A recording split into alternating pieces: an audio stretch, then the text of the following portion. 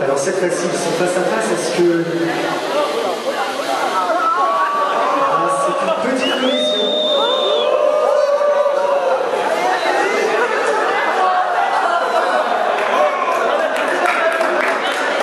On va arrêter euh, le match. Vous arrêtez vos